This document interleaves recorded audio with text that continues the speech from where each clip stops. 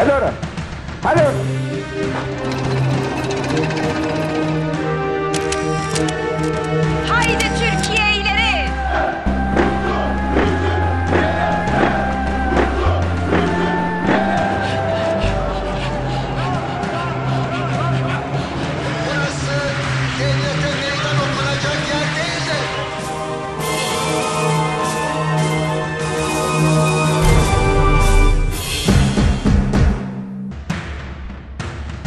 ...2000 yılı 28 Şubat sürecinde çok önemli bir dönüm noktası oldu. O sırada hiçbirimiz farkında değildik belki. Ancak o yıl yaşananlar Türkiye'nin geleceğini etkiledi. Adeta ülkenin yönünü değiştirdi.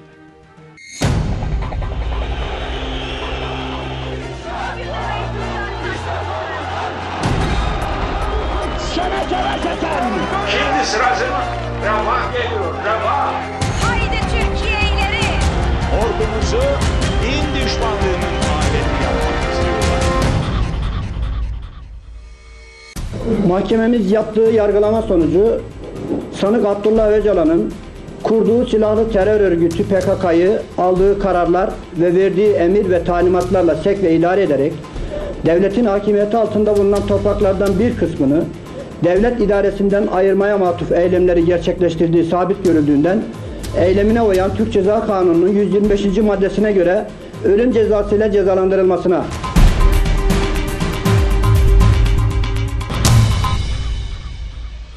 İşte 29 Haziran 1999 günü Ankara İkinoğlu Devlet Güvenlik Mahkemesi Başkanı Turgut Okyay, PKK lideri Abdullah Öcalan'ın idam kararını böyle açıkladı. Ve ülke idam edilsin diyenlerle idama karşı çıkanlar olarak ikiye bölündü. Öcalan'ın mahkemede verdiği mesaj da bu bölünmede önemli bir rol oynadı.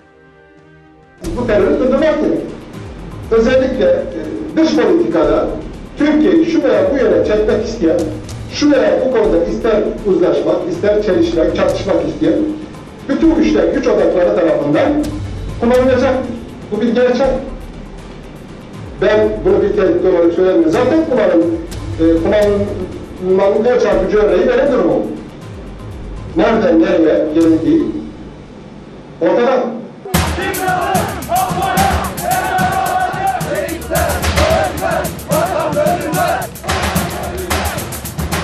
PKK liderinin davası bir ay sürmüştü. Öcalan mahkemeye her gün olağanüstü güvenlik önlemleri arasında özel bir zırhlı araçla getirildi ve kurşun geçmez bir kulübede konuştu. Beş para etmesin tekin adam.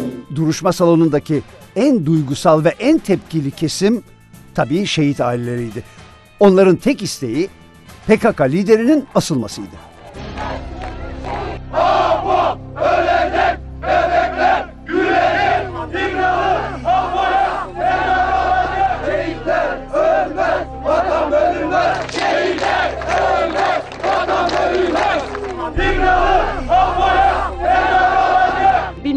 Biz hakkımızı helal etmiyoruz. Apo'yu idam ettikleri anda biz Kızılay Meydanı'na dökülüp davul zurnayla çocuklarımıza düğün yapamadık ama o an için yapmaya çalışacağız.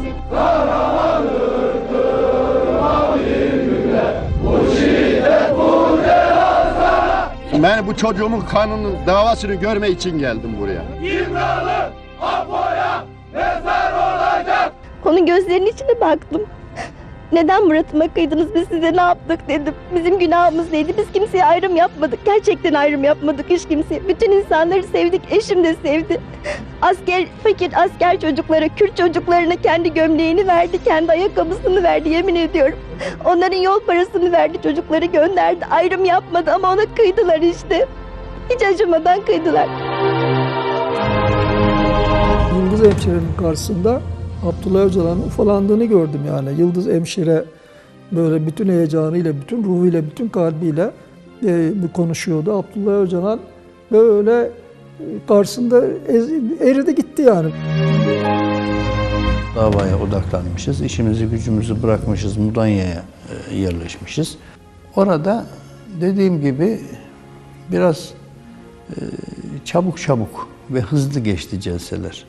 Şehit ailelerine ve gazilere benim beklediğim ve istediğim kadar e, zaman ve yer verilmedi. Yani bütün dünya kamuoyu bilsin diyordum Türk milletinin nasıl acı çektiğini, o gazileri hepsi yakından görsün, tanısın istiyordum. Dava sürecinde en çok hırpalanan ve tepki alanların başında ise Öcalan'ın avukatları geliyordu. Abdullah Öcalan gibi yasada kamu görevi olarak tanımlanan onun avukatları olarak biz de ciddi bir hayati tehlike altında bulunuyoruz. Ben şu andan itibaren görevimi durdurmuş bulunuyorum. Çünkü benim can güvenliğim yok. Ben her an öldürülebilirim. Hepimiz başka evlerde kalıyorduk. İşte eee, sokakta yürümüyorduk. İşte bebek katilinin avukatı, eee, işte Apo'nun dişi kuşu. Acayip acayip haberler çıktı yani.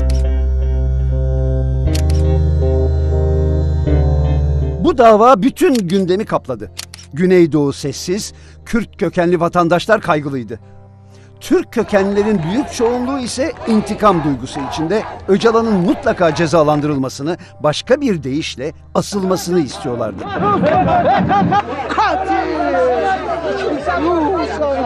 Ne zamanki mahkemeden idam kararı çıktı, Ankara'yı ve Öcalan'ı bu defa bir korku, bir kaygıdır kapladı.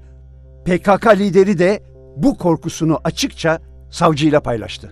Dedi ki beni asarlar mı dedi. Dedim ki 15 senedir Türkiye'de idam edilen olmadı. Tekrar aynı soruyu sordu. Ben dedim ki tekrar yani olmadı 15 seneden beri bir şey olmadı dedim idam. Bu defa affı gündeme getirdi. Beni affederler mi dedi. Tabii o benim konum değil.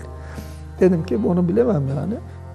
Aynen bana söylediği şudur yani siz de iddianamenizde bu af konusunu işleyin bu Türkiye'nin barışı için çok önemlidir falan diye. Ben tabii ona cevap vermedim. Öcalan idam edilmemesi gerektiğini, hayatta kalırsa barış için çalışacağını mahkemede bakın nasıl anlattı. barış ve kardeşlik için yaşamam gerektiğini söyledim. Bu temelde savunmamı mahkememizde dile getirmeyle yine tarihi görebiliyorum. Peki buyurun. Sayın, sayın tüm şehitler onun için bir kısa açıklama yapmak istiyorum. Evet. Kendilerinin yaşadığı üzüntü, acıyı yürekten paylaşıyorum. Yine buradaki sorumluluk paylarımızı özür diliyorum. Devlerinden.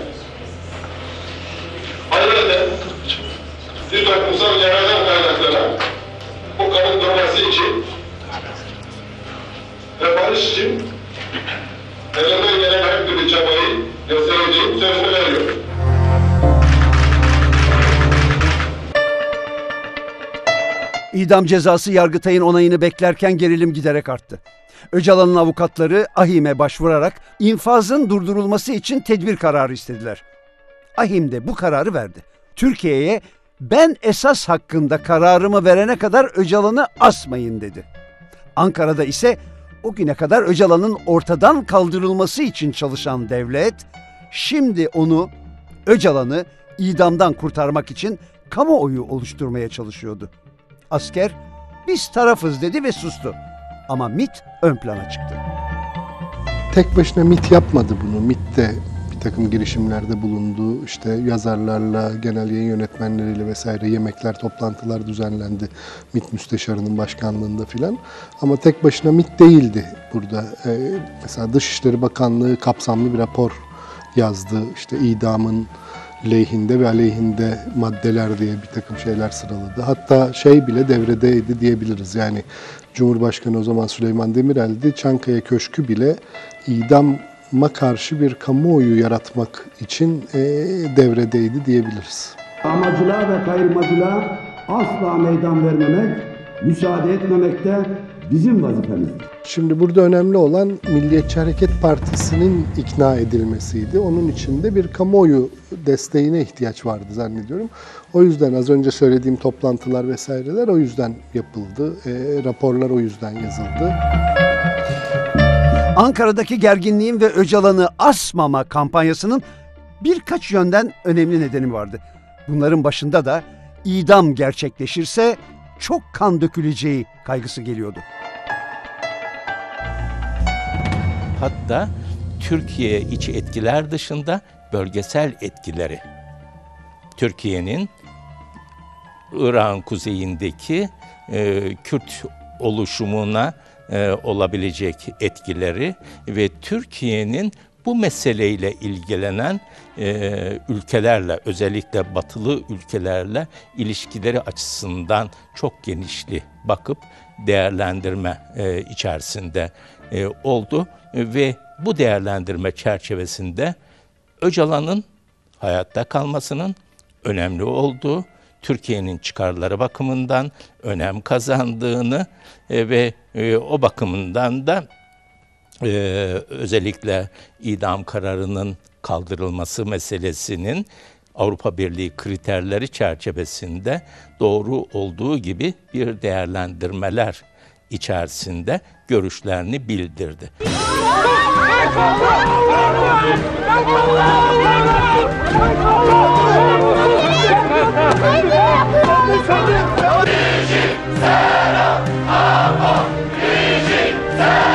Öcalan'ın bu süreçteki asılıp asılmayacağı e, meselesi e, sadece güvenlik yönleriyle değil, e, siyasal e, boyutuyla e, ve siyasal boyuta yapacağı e, etkiler ve e, güvenlik kaygıları bakımından da e, önemli değerlendirilen bir husustu.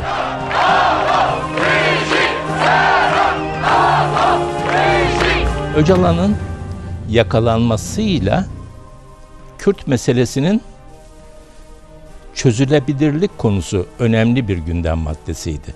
Ve Öcalan bu meselenin çözümünde etkili bir aktör olarak rol oynayabilirdi. İki, ayrıca Öcalan'ın yakalanması tabii ki Türkiye'de Öcalan, özellikle Öcalan'ın PKK'nın etkilediği kitleler üzerinde ve tüm Türkiye halkı üzerinde önemli bir etki yapmıştı. PKK'nın etkilediği Öcalan'a sempati duyan kitleler üzerinde de Öcalan'ın hayatta kalması hayati bir sorundu ve Öcalan'ın asılmasının riski devlet tarafından öyle kolayca alınabilir bir mesele değil. Karşılıklı olarak Güneydoğu'da farklı tepki Öcalan'ın lehinde. Batı kesimlerinde ise İstanbul'da, Ankara'da, İzmir'de her yerde gördüğümüz gibi çok e, tepkisel Öcalan aleyhtarı, PKK aleyhtarı ve hatta e, fiziki zarar veren bir e, toplu tepkiler de ortaya çıktı.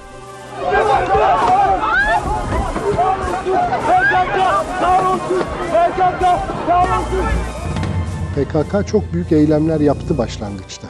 Yani mahkeme başlamazdan kısa bir süre önce şehirlerde çok kanlı eylemler oldu. İşte bir e, mavi çarşı baskını oldu. Sokaklarda onlarca PKK'lı kendilerini yaktılar, ateşe verdiler filan. Çok çok kanlı günler yaşadı o günlerde Türkiye.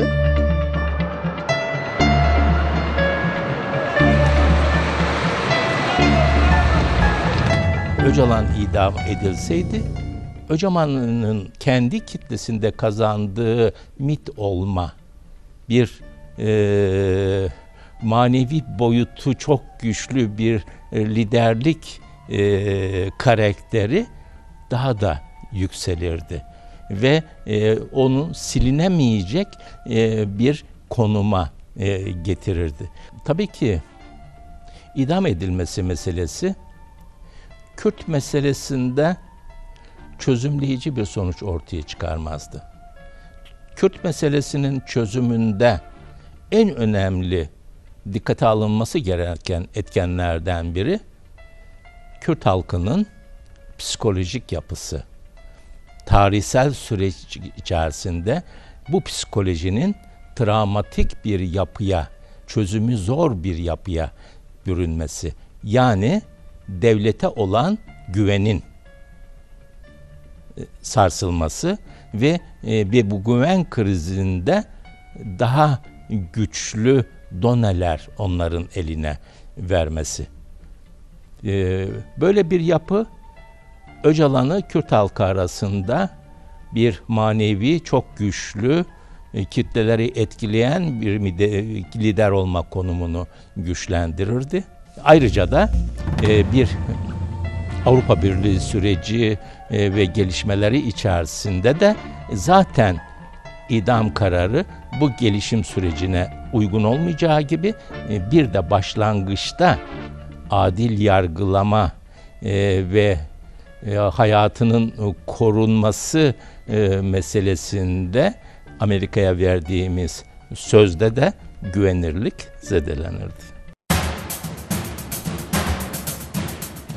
Öcalan'ı asmama kampanyası medyada beklenen etkiyi gösterdi. O güne kadar en sert tutumu benimseyen kalemler dahi şimdi Öcalan'ın idamına karşı çıkıyorlardı.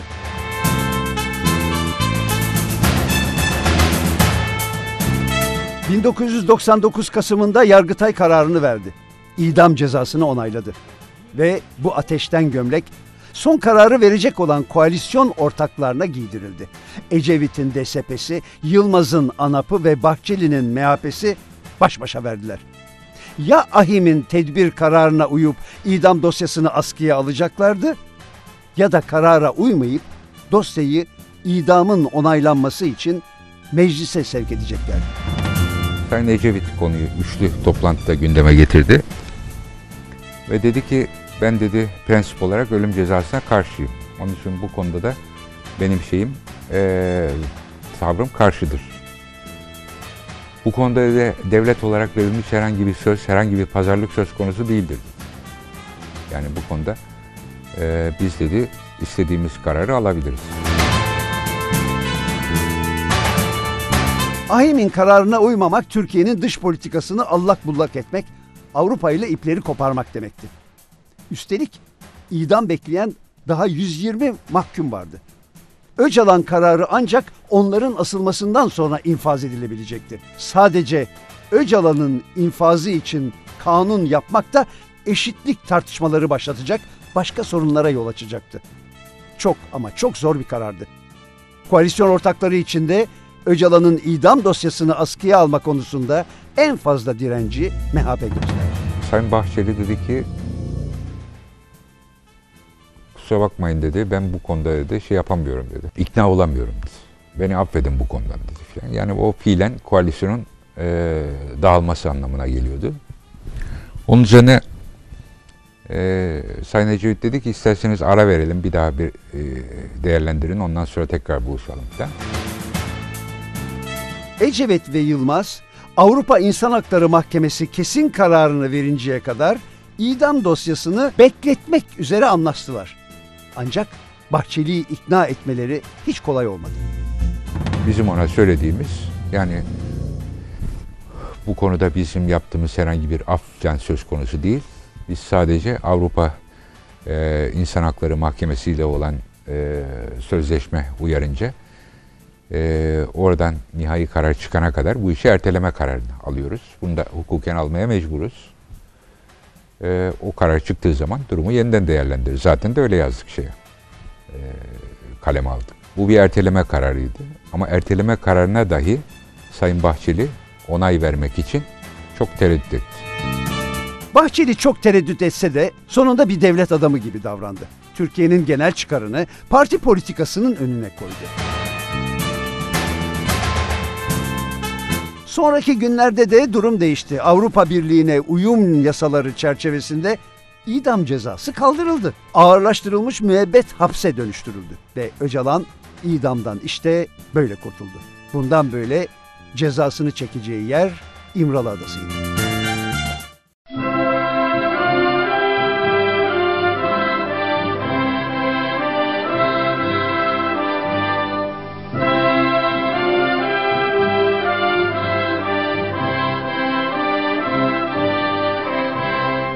Avrupa Birliği'nin uzun tartışmalardan sonra Türkiye'nin adaylığını resmen ilan etmesi ise bu süreçte yaşanan en önemli olaylardan biriydi. developments took place and the dialogue was interrupted. Türkiye'ye Avrupa Birliği'nde adaylık statüsünün tanınması yalnız Avrupa Birliği için değil, bütün dünya için önemli bir aşamadır.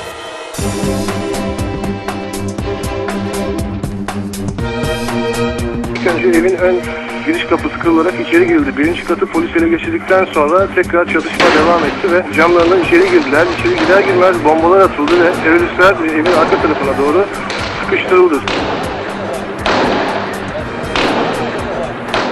2000 yılının Ocak ayında Beykoz'da bir eve yapılan baskından yansıyan bu görüntüler korkulu bir rüyanın başlangıcı oldu. Hizbullah örgütünün lideri Hüseyin Veli Dedeoğlu'nun da öldürüldüğü bu operasyon yakın zamanda başta Güneydoğu olmak üzere Türkiye'nin her yerinde işlenmiş katliamları bir dizi faili meşhur cinayeti gün ışığına çıkarıverdi. Güvenlik güçleriyle Hizbullah militanları arasında çıkan büyük çatışmayla sarsıldı. Hizbullahçıların her gün yeni bir katliam ortaya çıkıyor.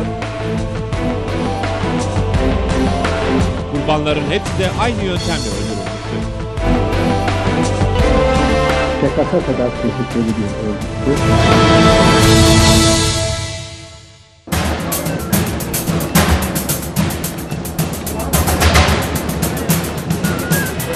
Su kazılmış, üzerine beton dökülmüş. Rezil bir durumda. Cesetlerin hepsi Bağlanmış. üst üste beraber mi gömülmüş? Yan yana. Yan yana. Yan yana. Cinsiyetlerini ayırt edebiliyor musunuz? Belli değil yani. Belli belli olmuyor. Erkek yalnız. Erkekler. Kadın yok. Aşağı yukarı kaç günlük cesetler? Kokmaya başladığına göre bir haftalık falan. Bir de kış ortamında daha uzun süre olabilir. Ne kadar kalınlıkta bir beton atılmış? Beton fazla kalın değil. Yalnız bir, bir metre kazınmış. Bir metre kazınmış. Hepsi yan yana. Yakalanan Hizbullah militanlarının gösterdiği her yerde, her çukurda örgütün infaz ettiği insanların cesetleri çıktı. Kurbanların büyük çoğunluğunu tanınmış Kürtler, PKK'ya yakınlığıyla bilinen kişiler oluşturuyordu. Ekranlara yansıyan görüntüler de tüyler ürperticiydi.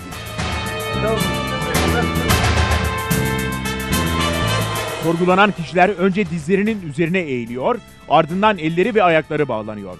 Daha sonra boyundan geçen bir ip ayaklara bağlanıyor. Böylece kurban hareket ettiği takdirde boğulma tehlikesiyle karşılaşıyor. Ölüm yavaş yavaş boğularak geliyor. Bu yöntemin adına domuz bağı deniliyor. Binci kadın, e, üçü erkek, e, dört ceset çıkarıldı. Bu evden tam 8 ceset çıkarıldı. 8 erkek cesedi çıplak vaziyette üst üste atılmış 1 metrekarelik bir kuyudan çıkarıldı. Tanınmayacak hale gelmişlerdi. Hizbullah'ın sözde Akdeniz bölge sorumlusu Mehmet Emin Ekici korkunç itiraflarına devam ediyor. Ekici'nin her gösterdiği yerde Hizbullah'ın kanlı yüzü bir kez daha ortaya çıkıyor.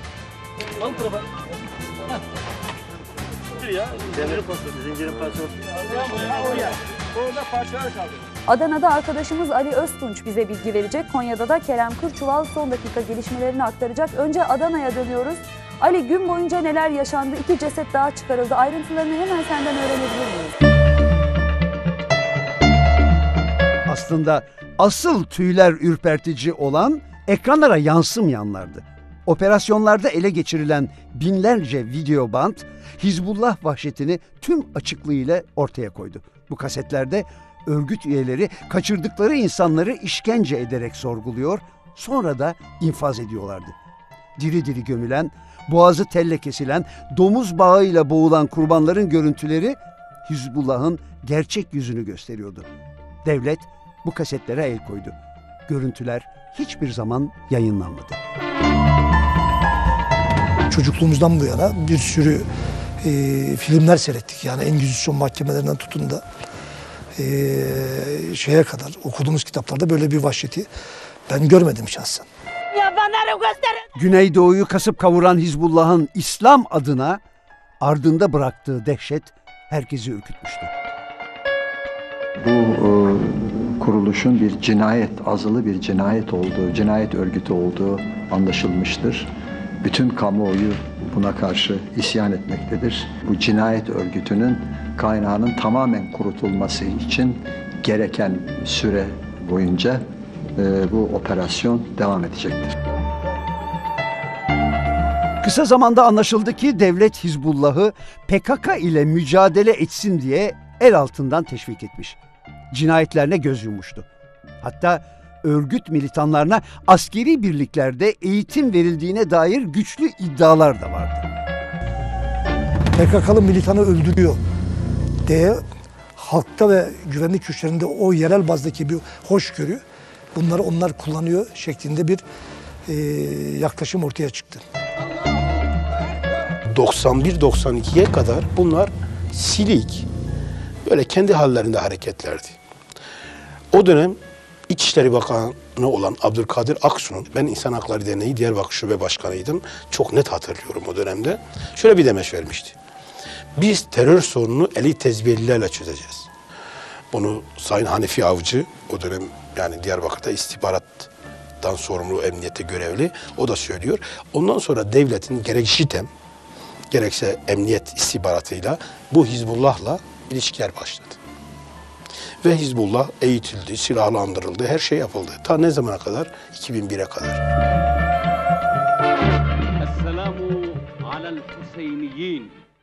Yılın ilk aylarında Türkiye gündemindeki bir diğer önemli olay ise devletin zirvesiyle ilgiliydi.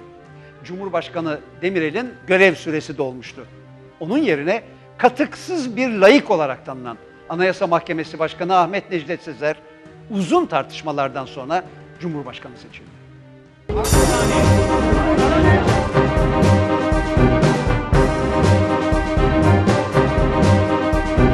Üçüncü oylama için öngörülen salt çoğunluğu sağlamış ve 330 oyla Türkiye Cumhuriyeti'nin 10. Cumhurbaşkanı seçilmiş bulunmaktadır. Cumhurbaşkanı seçilmemi kişiliğimde yargıya verilen değerin bir göstergesi olarak kabul ediyor ve beni bu göreve layık görerek onurlandıran Türkiye Büyük Millet Meclisi'ne şükranlarımı sunuyorum.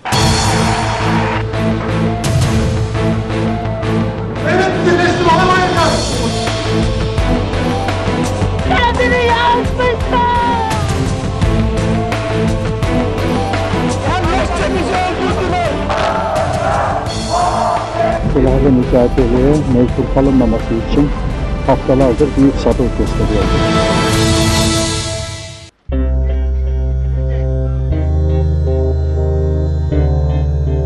İdam tartışmaları, Hizbullah şoku derken koalisyonu sallayan bir diğer olay ise cezaevlerinde patladı. F tipi cezaevlerine geçmemekte direnen, ölüm orucu başlatan siyasi mahkumlara hayata dönüş adı altında bir operasyonun düğmesine basıldı. Ancak mahkumlara uygulanan şiddet Türkiye tarihinin en kanlı sayfalarından biri olarak hafızalara kazındı.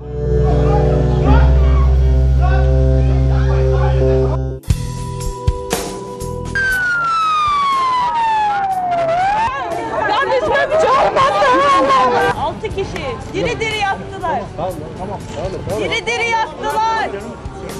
Altı bayan yakılarak öldürüldü. Kalleşçe bizi öldürdüler. Yavaş. Onlar canı var.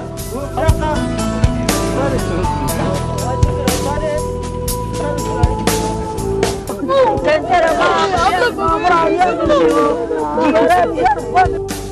Aslında hayata dönüş operasyonunun provası bir yıl önce Ulucanlar cezaevinde yaşanmıştı. Tanıklarından biri de Hatip Dicle'ydi. Gece 3'te operasyon başlamış. Ve ondan sonra e, şu da bir gerçek. Yani öldürülenler iki kişi sadece çatışmada ölmüştür. Geri kalan 10 kişi e, liderler adı altında isimleri gelenlerin listesinde vardır ve hepsi kafalarına kurşun sıkarak öldürülmüştür. Yani bir katliamdır. Devletin amacı koğuşlarda toplu halde tutulan mahkumları yeni yapılan F tipi cezaevlerine dağıtmak, birbirleriyle temaslarını kesmekti. Zira resmi görüşe göre terör örgütleri cezaevlerinden yönetiliyordu. Kamuoyu televizyon kanallarına servis edilen görüntülerle önce bu hayata dönüş operasyonuna psikolojik olarak hazırlandı. Bu görüntüler İstanbul Bayrampaşa cezaevinde çekildi. Çekilen görüntüler cezaevlerinde devlet otoritesinin hiç kalmadığını açık bir şekilde ortaya koydu. Koğuş sisteminden oda sistemine geçişi öngören F tipi cezaevlerine karşı çıkan teröristler, F tipi cezaevlerini engellemek için ölüm oruçlarına başlarken bir tören düzenlediler. Güvenlik güçleri 3 yılı aşkın bir süredir bu koğuşlara giremiyor. Terör örgütü elebaşlarının içeride kurdukları koğuş sistemiyle afiş asmaktan içeri giren bir sempatizan çıktığında teröriste dönüşüyor. siyasi iktidar, sivil iktidar diyelim. E, cezaevlerini ile birlikte medyayı da kontrol altına aldı ve servis haberler çıktı, manşetlere çıkartıldı. Cezaevleri terör odaklı merkezlerdir. Cezaevlerine girilmiyor. Cezaevlerinde tanklar, toplar, silahlar, cephanelikler çıkıyor deyip gazeteler ve gazeteciler bir şekilde cezaevlerini merkez olmasına ön ayak oldu. cezaevlerinin bir kontrol altına alınması ve bunun için gerekli denetimlerin yapılması Milli Güvenlik Kurulu gündemine dahi gelmişti. Çünkü, çünkü cezaevleri bu e, terör örgütleri militanlarının karargahı haline gelmişti. Bir anlamda oradan terör örgütleri yönlendiriyor, yönlendiriliyordu. Sokaktaki terör eylemleri dahi oradan talimat alıyorlardı. O nedenle Milli Güvenlik Kurulu'nda dahi yani bir iç tehdit olarak değerlendirilmiştir.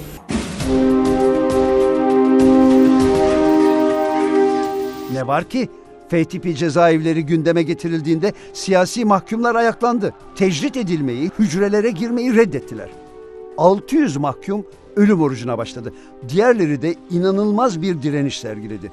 Araya giren aydınlar heyeti ise ne hükümeti ne de mahkumları ikna edebildi. Onlar karşıdalar, biz bu taraftayız. Ee, ve en trajik olanı tabii göz mesafemizde bir avluda e, başı kırmızı bantla çevrili gençler yatıyor. Onlar ölmeye yatmış durumdalar ve bizim orada yapacağımız pazarlığın sonucuna göre ya ölecek ya hayatta kalacaklar. Taleplerini sıraladılar. Ee, talepler doğrusu beklediğimiz gibi çok politik içerikli değildi. Yani ben genelde hani hepimiz okul yıllarımızdan sonrasından örgütlerle iç içe olduğumuz için yani çok hani oligarşik devletin yıkılması gibi talepler de olabileceğini düşünüyordum. Değildi. Daha gerçekçi ve e, somut talepler vardı. Cezaevinin somut koşullarından yola çıkarak hazırlanmış ve e, ulaşılabilir tırnak içinde taleplerdi. E, doğrusu ilk duyduğumda ben makul olduklarını düşündüm ve bu pazarlığın işe yarayabileceği hissine kapıldım. Ancak işe yaramadı. Anlaşma olmadı. 20 cezaevine 10 bin askerle düzenlenen operasyonda gaz bombaları ve kimyasal silahlar kullanıldı. Mahkumların bir kısmı da kendilerini yakmaya çalıştılar. İkisi asker, 30'u tutuklu, tam 32 insan öldü. Yüzlerce mahkum yaralandı. Ortaya çıkan korkunç görüntülere yayın yasağı konuldu. Yaşanan vahşet ve mahkumlara uygulanan şiddet kamuoyundan saklandı. Böyle bir silahlı mücadeleye mecbur kalınmaması için haftalardır büyük sabır gösteriyorduk. Fakat sonuç alınamadı. Bu mücadele teröristleri kendi terörizm, terörizmlerinden koruma ve kurtarma girişimidir.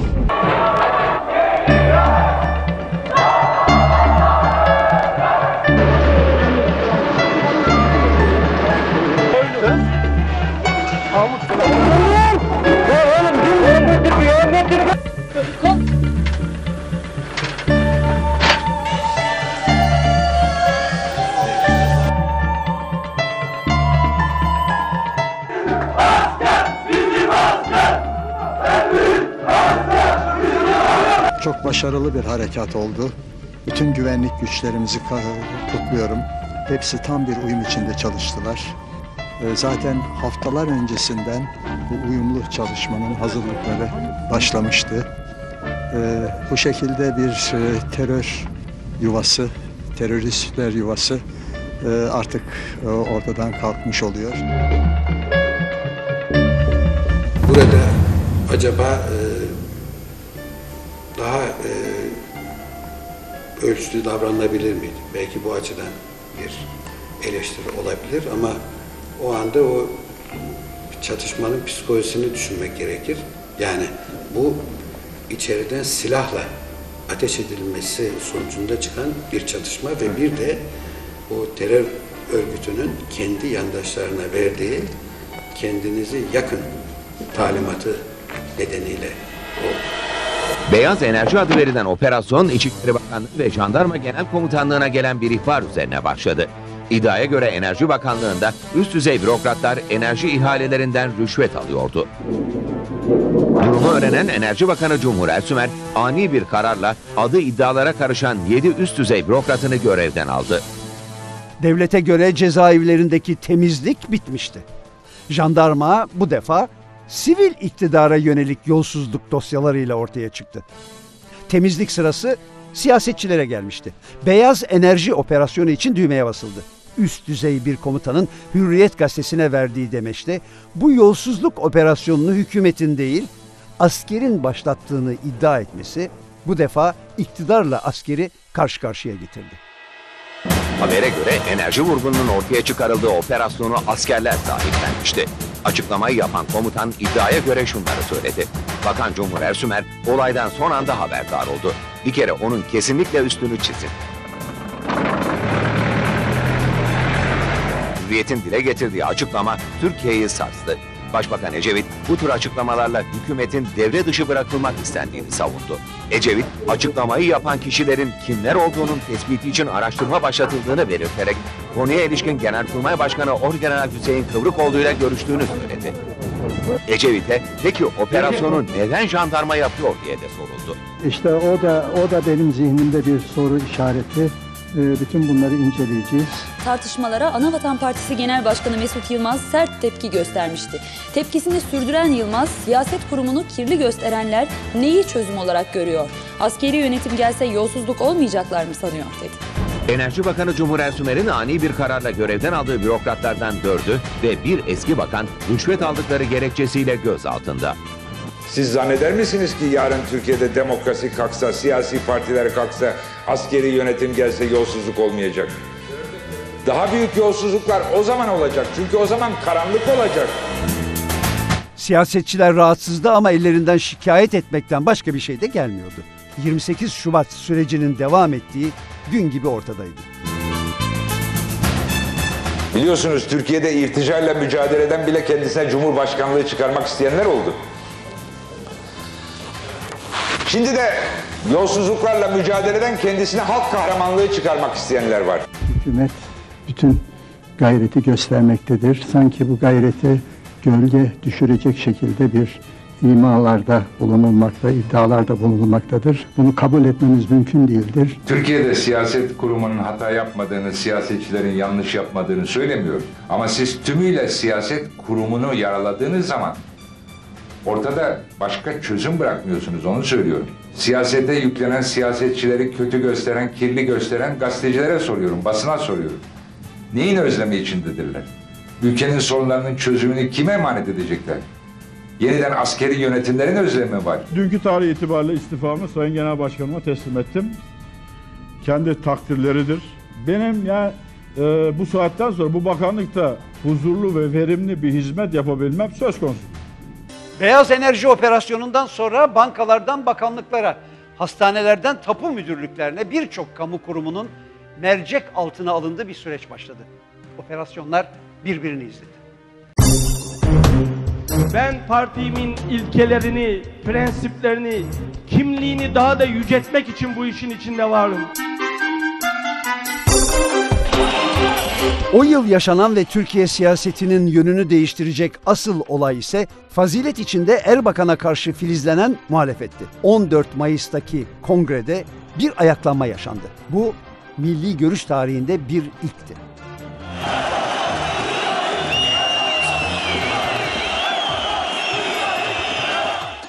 ...28 Şubat sürecinde Yargı Refah Partisi'ni irtica suçlamasıyla kapatmış, Erbakan'a siyasi yasak getirmişti. Refah'ın yerine Fazilet Partisi kurulmuş, genel başkanı da Erbakan'ın işaret ettiği isim Recai Kutan olmuştu. Eski yaşlı ekip, eski tek adam idaresi, eski merkezi yönetim, eski politikacılar ve eski söylem. Hepsi aynıydı. Bu partiye de hakim olmuştu. Merve Kavakçı krizinden sonra da kapatma davası açılmıştı ve işte şimdi partiye hakim olan zihniyet ve anlayışla iktidara gelemeyeceklerini gören genç siyasetçiler isyan bayrağını dalgalandırıyorlardı. Kongrede Erbakan'ın adayının karşısına kendi adaylarını çıkarıyorlardı.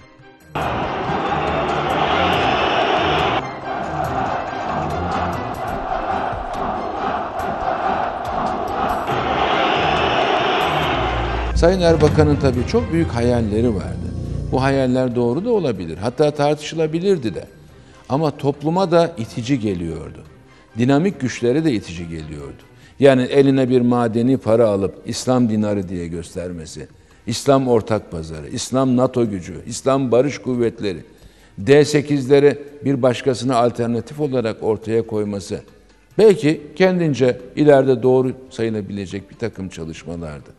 Ama bunları duydukça insanların tüyleri diken diken oluyordu.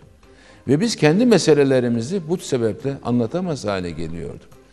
Dolayısıyla bu kapatılmalar karşısında Türkiye'de siyaset nasıl akıllı bir şekilde yapılabilir, nasıl kalıcı olabilir ve hizmet üreten siyasi iktidarlar nasıl ortaya çıkabilir? Bunların hep konuşmalarını, görüşmelerini yaptık. İktidar olabilmek için mevcut politikaların, kullanılan dilin ve eski kadronun değişmesi gerektiğine inanan bu ekibe medya yenilikçiler adını taktı. Hareketin başını çeken iki isim Bülent Arınç ve Abdullah Gül'dü. Hedefleri yönetimi ele geçirerek partiyi iktidar olabilecek, yargının kapatma tehdidinden kurtulacak bir yapıya kavuşturmaktı. Peki lider adayı kim olacaktı? Arkadaşlarımız toplandılar. Sayın Gül'le beni bir odaya koydular. Ben Sayın Gül'den önce başladım. Adayımız sensin dedim. Gözlerimiz yaşardı. O da önce ben başlasaydım ben aynı şeyi söyleyecektim dedi. Kucaklaştık. Dışarı çıktık arkadaşlarımıza ben Abdullah Gül Genel Başkan adayımızdır dedim. Fazilet Partisi içerisinde parti içi mücadele diye bir şey kesin olarak olmayacaktır. Bunu çok net olarak ifade ediyorum.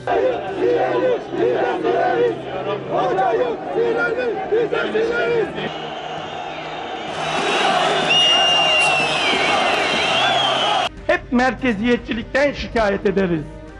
Ama Allah için bir de şöyle kendimize bakalım. Biz de çok aşırı derecede merkeziyetçi değil miyiz değerli arkadaşlar? Kongre günü herkes şaşkındı. Yasaklı lider Erbakan'ın desteklediği Recai Kuta'nın karşısına çıkan aday 50 yaşındaki Abdullah Gül'dü. Ancak parti yönetimine göre başkanlık için daha çok gençti. O güne kadar ne diyorsa o olur denilen, kayıtsız şartsız itaat edilen Erbakan ilk kez parti içi muhalefetle tanışıyordu. İlle de 70 yaşına geldikten sonra heyecanımız pörsüdek sonra mı olalım?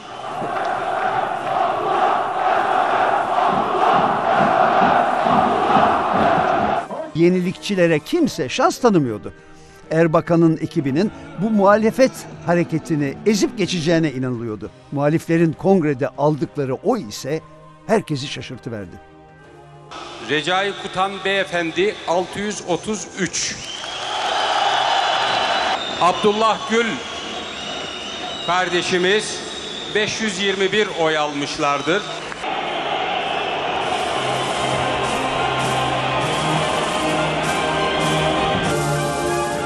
Fazilet Partisi'nde ilk defa demokrasi süreci işlemiş oldu. Realite ile tanıştı Fazilet Partisi.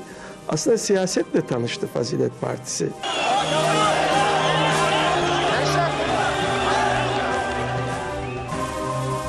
yerde ön kesildi. Mesela Abdullah Bey biliyorsunuz 14 Mayıs'ta şeye girdi, kongreye katıldı ve o kongrede de yine bir ön kesme olayı söz konusuydu. Daha önce çeşitli teşkilatla yapılan görüşmeler filan oralardan çıkan neticelere saygı duyulmaması olayları filan vardı.